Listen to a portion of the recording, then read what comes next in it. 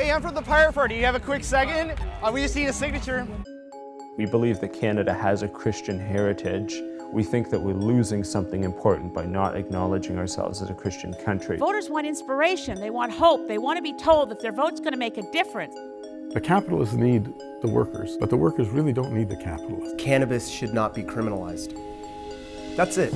I got into politics because of Pierre Trudeau.